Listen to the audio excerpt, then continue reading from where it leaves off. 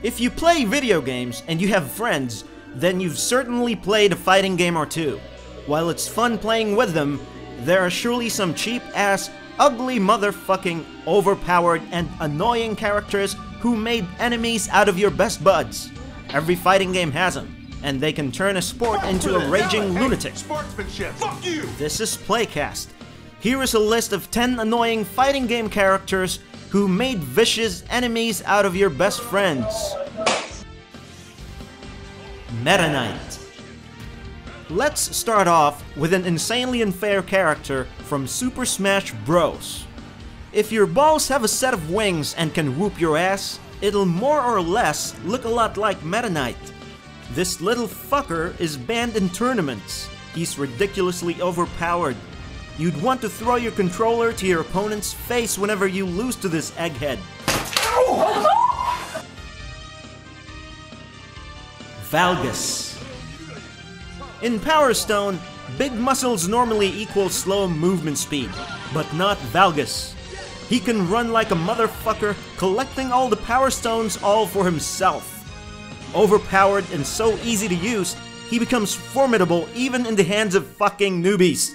A tank and a hard hitter, he's even more annoying when used by a pro. He's so fast, he looks like he's about to shit in his pants. I'm Zangief, I'm bad guy. Zangief. Let's see. He's slow, dumb-witted, and nothing but a lumbering target for projectiles.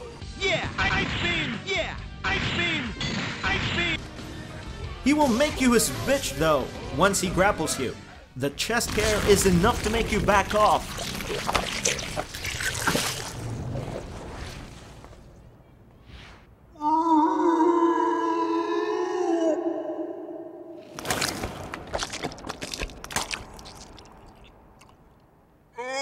It's dumb to make this your favorite character, for he is not so easy to pick up and master. He walks like he's stuck in a deep puddle of shit. Well, bring out the gimp. Voldo. One look at Voldo and you know he's a gimp, straight out of Pulp Fiction. I butt fuck this dude. See that? What? It's my gimp. He moves like that worm trying to crawl out of your a-hole. Do you suck dicks? Sir, no, sir. Bullshit, I'll bet you could suck a golf ball through a garden hose. He's ugly, and no one wants to cosplay as this shitface. What the fuck? WTF what the فخور مجال محمد عملية Potemkin. If Potemkin was in Street Fighter, he'll have a hard time. But putting him in a weapon-based fighting game where all battles are melee, wow. His reach is enormous, practically making him a long-range hitter. And he hits hard. Really hard. Just a few hard blows, and you can kiss your sorry ass goodbye. Can you imagine the size of this guy's shit? Me neither. Liu Kang. He's fast, he's furious, and his moves are dumb. Listen to this. Who the hell thought of that? He sounds like his anus is being tickled with a fork. He's the main hero in the game, but he's nobody's favorite. All because of that stupid sound he makes. It sounds exactly like a turkey's mating call. he is so lame that he's fucking annoying.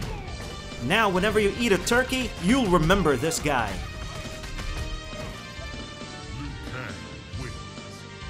Eddie Gordo. What do you want? This character turns your friends into annoying fools by making them hold the controller in stupid ways. More annoying is when they beat your ass. And believe me, they will. Your controller ain't safe either. It'll be a mashed potato before the end of your session. Eddie Gordo will make them think they're getting good after each and every match, to the point when they start talking shit at you for losing. Mega Man. This projectile based hero is one cheap ass bastard. All you need to do to win is keep firing that stupid arm cannon. And man, can he fire the shit out of it. I'm gonna fire the shit out of you. This guy right here is a melee character's worst enemy. He has a lot of gadgets and weapons, but only uses a few of them at a time. What a fucking moron. And he's cheap, did I mention that? Michael Jackson. You can't win. The title's mine. Now here's one popular character in a fighting game only a few people know exists. The King of Pop. He's bad, and the worst part is, he knows it.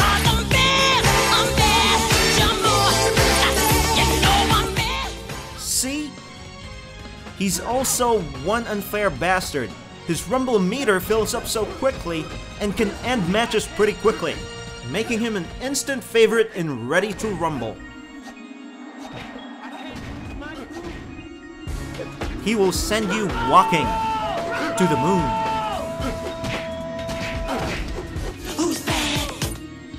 Superman.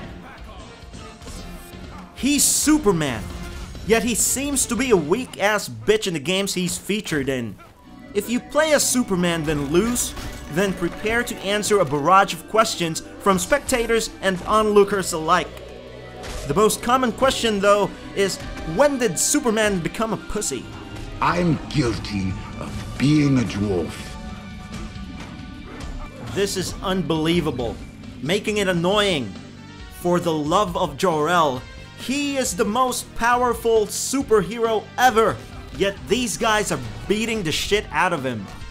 Without a kryptonite.